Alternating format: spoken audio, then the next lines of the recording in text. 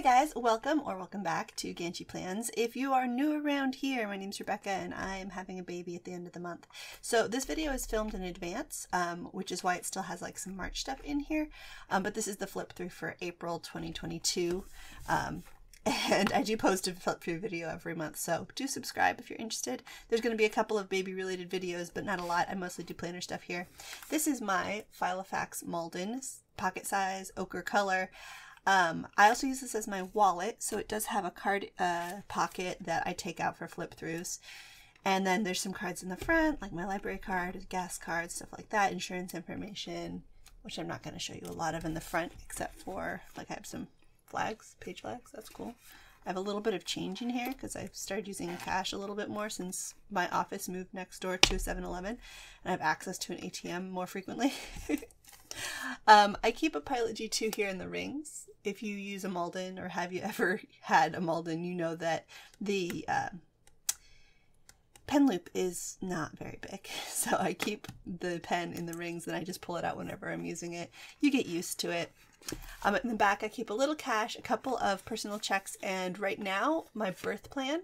Because um, my plan right now is to, um, I, with my last baby in 2020, my husband wasn't allowed to come up to triage with me. Um, they may have relaxed that restriction, but they also might tighten them down again because really, who knows with COVID?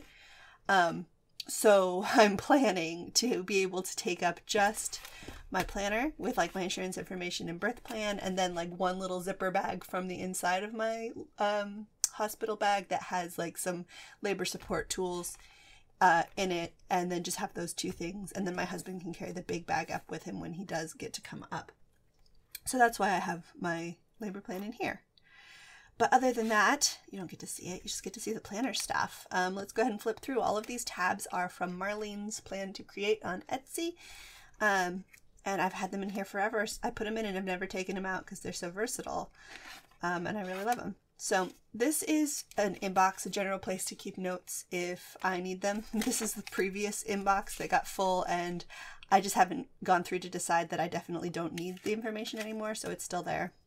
This is kind of a brain dump to-do list. Not really brain dump, but like I'll put it somewhere and then if it doesn't belong on this week's weekly or specifically to get done this month, something like that, I'll put it here as like a project or a to do item. Um, and then these things will get pulled over to my weekly at some point. A waiting on list, which I use sometimes. Um, this is a dated, this is the 52 weeks dated insert from my shop. Hey, by the way, I make inserts at ganchiplans.com. This is insert number 52, conveniently. I use this sometimes to sort of plan out when I'm going to work on projects like this week. Really the thing that I'm working on is the, well, my mom and mother-in-law are throwing us a little sprinkle because we're having our first boy. So we need some boy clothes and so it's very sweet of them. But there's a couple of things that they need from me they need to borrow some baby dolls because I'm the one who owns baby dolls. Um, they need me to like print a picture of the ultrasound and stuff like that. So that's the project for this week because it's time sensitive. And then next week we're going to be um, prepping for a visitor. So I just want to make sure that like the house is clean. But also it's my first week of maternity leave, so I want to work on the baby's closet. Stuff like that. So that I can kind of plan projects out in advance and try not to like sometimes life gets busy and you have a bunch of projects that are due around the same time. So you'd like to be able to plan them out backwards. So that's what I use this for. Um, this insert is actually from Peanuts Planner Co. And it's for small projects. Um, a lot of them now, the ones I'm actually doing are in a, a I think this tab. Um, and I'll be showing that to you later. Someday maybe list. I don't look at this very often. This is my projects. I actually did finish this one like craft projects. I do like a cross stitch of my kids' names. I did Agnes's. I started hers, my oldest daughter, uh, after she was born. Finished it pretty quickly. Started my second daughter's before she was born and finished it, like got it up on the wall at 18 months old. So it uh, it's really not that complicated of a project. I just never finished it. And I've started on our son's. Hopefully I'll get his done before he's born and then I won't actually have anywhere to put it. So the first of these top tabs is for the month um, and also future log. So I still have March in here. I do monthly plan with me videos, so you can check out how these are all planned, except this one I forgot to film. So you just got an overview. Here's April. Um, these guys at the front of my monthly setups are freebies on my shop. And this is everything I have planned for the first month of maternity leave. You to see how it's going or how it will be going. Um, I'm using my this tracker for like labor induction type things. Prep, labor prep. You ch- do what you can to pretend that you have some sense of control over the situation. Um, and then the baby just comes whenever he wants. Then I also have May already set up um, because I am not going to feel up to planning and decorating a monthly when I'm, you know, in the first week of a newborn's life. This is my future log. It's insert 54 for 2022, and then this is for after 2022. These here are all folded up. These are school calendars, um, and so I, I reference these when I need to, and I just keep them folded up so that I don't have to worry about hiding them in videos. Um, and that way they also fit without having to like resize or do anything to the information. These are some recurring tasks. These are the ones that happen not on a schedule, and then these are the ones that do happen on a schedule. I just kind of keep track of like the last time certain things were done or the next time certain things need to be done. My husband changed my brakes, so he wanted me to note down when it was done and how many uh, miles were on the car at that point, so that if he ever asks again, I know where the information is, because I am the person who is able to keep track of that kind of thing in our relationship. He's the one who's able to change the brakes on my car. So it's a symbiotic relationship. These are library books that are checked out currently. Oh, you know what? I just got a text from the library. I'm like, huh, some of them, some of them must be done uh, due. Maybe it's oh this one, this one's due. All right. I also requested another audiobook because we're slowly working our way through Narnia. Um, and we just finished The Horse and His Boy. My daughter's only three and a half, and she doesn't pay attention to a lot of it, so I'm sure we'll be here again at some point. Um, these are birthdays and anniversaries, so this is like an evergreen spread um, because you put the year instead of like the age. So you can put, um, well, I'll have a birthday to add to this pretty soon. These are weeks. Uh, I've got all of March going, and then this is the last week of March and then the first week of April. April starts here with my closet monsters. As you can see, it's set up and beautiful because I did decorate everything in advance, um, but I'm not going to do a lot of planning in advance, just like the week before probably. Like this last week of March, I'm going to be prepping some stuff for the first week of April because I do like to have, you know, my to-do lists ready to go. So that's what that looks like. You got to see this, or did you? I hope this video has already come out because I'm not paying attention to the order that I'm pre-filming things in. Um, but there you go. They're all decorated and ready and I can just fill them out. And then they'll look nice and I'll be more likely to use them, but I didn't have to put all the effort in in the middle of the fog. Uh, I can just use it when I need it. This last tab is for dailies. Um, I probably will pull out some of these because once they're used, you don't really need to use them again. Um, this is the day I'm filming this. And so I felt like I needed a daily that had um, hour, a time ladder on it. Um, but I don't always use dailies. Sometimes whatever's on the weekly is fine. Um, and so I just have a section here with dailies and I pick the one, I have a few different options um, and I pick the one that appeals to me that day and pull it up to the front. And uh, that's the one I use that day. It's, it's a tool, you know. I'll usually use some highlighter to de like decorate it a color, but I don't really use a lot of stickers because I'm not like there all the time. I'm only there for one day. This is my content calendar. I'm only going to show you March because it's already, you'll already have seen all of this. Um, here I am at the beginning of the week. Um, and you can see I've already filmed, like this is the week that, oh, that April video. yeah, that I just mentioned, I forgot to film.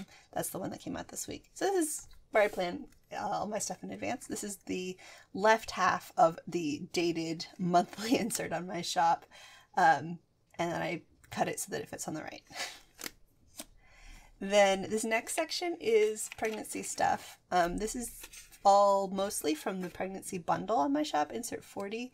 I want to do a, sort of an overhaul of it, but if you buy it now, you'll get the, the new version and the old version.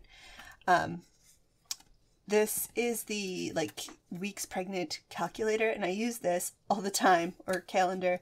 So, like for example, I can't remember what you know how many weeks I am. It's currently the 28th of March as I'm filming this, which means that I turned 35 weeks on Saturday. So that's that's my turnover date is Saturday. So on the 26th, I turned 35 weeks. So then I can count, you know, one, two, more days. so 35 plus 2. Um, this video I think is coming out on what the... You can tell me in the comments if I get this right. I think it's coming out on April 14th. Um, so I will be 37 and one, one, two, three, four, five days pregnant. Um, so there you go. Then I've clipped a bunch of these together so that you can't see. It's got doctor's appointments and questions for the doctor, which I don't want you to see, but this here has the week per or page per week um, with all the stats, and uh, you can't see this week's because I clipped it to the last page. But this is you know shows you you know what size the baby is in a vegetable. This is one of the things I'm going to overhaul, but um, you just put any kind of symptoms and notes and stuff like that um, weight and blood pressure tracking, which I need to do more consistently, but I don't. I mean, maybe I should. If my doctor told me to, I would totally do it, but it's like an optional thing for me, so I don't. and then there's just like a week, uh, monthly checklist. I'm on month eight right now, and so I've already made some pretty good um, progress on this. The uh, I need to do this, yeah, and then this I really can't do until after the shower because I don't want to buy something that someone else is going to buy for me, you know. Um, I put it on month eight before I knew that the shower was going to be at the beginning of month nine. Very excited. This is my last week of work before I go on maternity leave. This is the go bag packing. There's a couple of things in here that I still have to add, like my charger cable. I'm going to use the one that lives at the office. Um, so that comes home with me on my last day of work and we'll go straight into the labor bag. Kick counter, which I don't do as often as I should. I'm supposed to do kick counts every day, right? But then like he'll get super wiggly and I'm like, okay, that counts. Like he's definitely doing at least 10 movements in 10 minutes and so I don't even bother. So I haven't actually sat down and counted how many minutes it takes since I was 32 weeks along.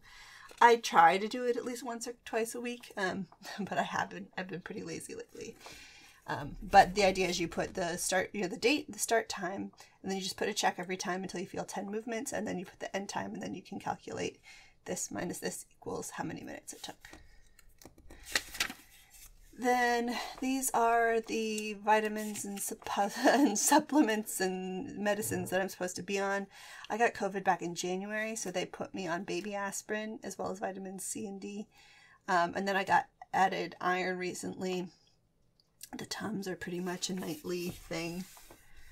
Um, and then the oh, this is some notes I took on some those those things that are on my April monthly tracker um, red raspberry leaf tea, which I've been cold brewing in the fridge, and that actually works really well.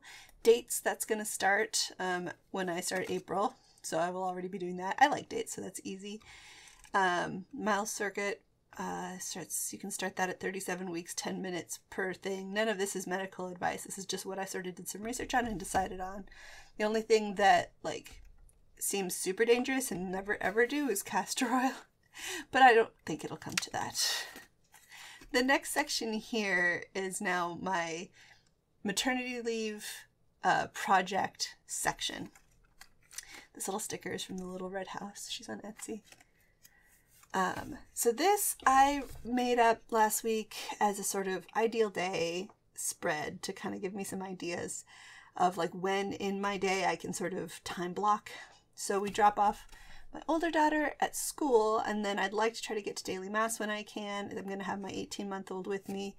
Um, and so while she's napping, I can work on a project. While she's napping, I can nap, that kind of thing. Um, I'd like to try to get, you know, out and doing something outside.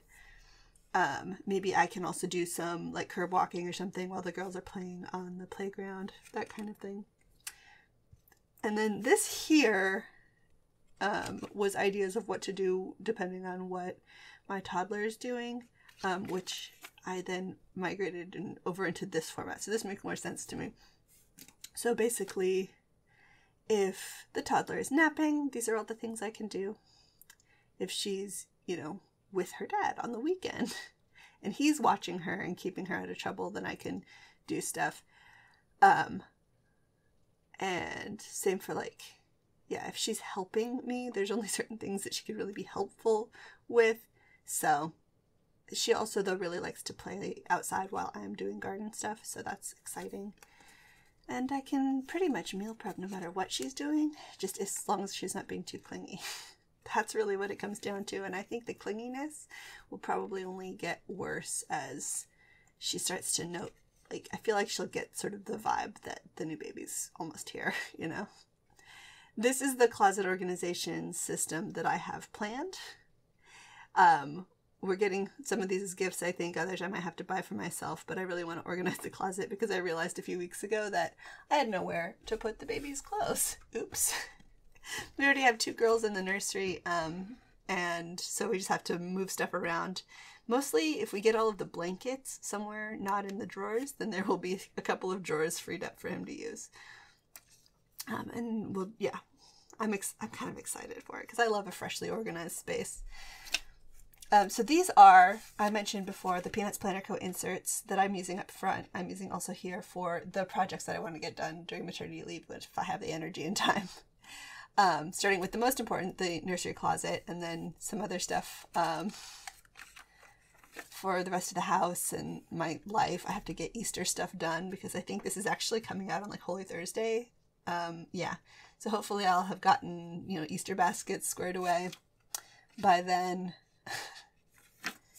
I have some knitting I can do if I want to just sit down and work on something. And then this tab here is for the baby sprinkle. Um, we just had a sort of planning meeting and I was assigned a couple of tasks, so those are here. It is not pretty. Um, and then the last tab is kind of a catch-all for everything else um, that doesn't have a home. So I have these meal planning inserts and I love them. These are insert 27 in the shop but uh, I haven't been using them as much lately because my husband's between jobs and he's therefore at home and doing more of the cooking. Um, and so our meal plan, or like, we don't do a plan as in like a schedule. We just have a list of what we have the ingredients for. And that's now living on the family calendar in the living room, or I guess it's the dining room. So I'm not keeping it here as much because it needs to be shared and I just make a point of writing it there instead and keeping it up to date there. Um, but this has that space for like what you have the ingredients for. I use the circle for how shelf stable it is, and then the square for have the ingredients, made the food, ate the leftovers. Um, and then you can actually make a schedule here, um, whether it's just like, oh, these are the nights that we're going to be visiting friends or eating at a restaurant, um, and or you know, whatever. Um, or whether you're actually saying, okay, this is pizza night and this is spaghetti night. Um, it's two weeks worth of schedule there and then a grocery list on the back. And I really do love this. I just haven't been using it as consistently lately because of events in life. But I still have them here because whenever I need one, I never seem to have one. So I want to make sure I have some. I have some gift ideas, some wish list items, my to read, watch, listen, list, which I just I don't flip back here lately as much. Um, but it's all here and I know where it is. And then the very, very last tab is blank paper. I printed some more of these little mini notes. Oh, some of these are upside down. That's fine. so insert 70, uh, checklists, grid pages, and then I also have some sticky notes from Peanuts Planner Co. I love her stuff. All right, and that's basically it. Oh, except for in the back. The very, very last thing in here, which actually both of these are done. And it's convenient because these post-it flags are exactly the right width when you're in the pocket size. This is the sort of tab index. So I keep it in the back so that the front is pretty, but whenever I'm rearranging stuff that's in different tabs, like the um, pregnancy projects and shower planning, I will put on here on some stickies. And that way, if I ever forget where everything is, I just flip here and go, okay, that here, pregnancy, and then I lift this flap and it's this section. Because um, that works for me, because the front section doesn't have a tab. So I do it backwards, if that makes sense. Um, but whichever way works for you. Six tabs, six items, and six like categories of stuff. And then you never lose track of where everything is. Um, there you go. Oh, These were from Mad Hatter. I should put those away in my new, newer sticker organization book, which I made a video about, which you can go find if I forget to link it. All right, that's everything. I hope you enjoyed that. I hope that you are enjoying your life wherever you are, um, whether you, like me, are 38 weeks pregnant and done or somewhere else in life. Um, thank you guys for watching. Don't forget to subscribe, and I will see you in the next video next week, which I also have filmed in advance. So it's going to be past Rebecca here for a while, but I will be keeping uh, you updated on the community tab as things progress in my uh, real time. So see you then. Bye.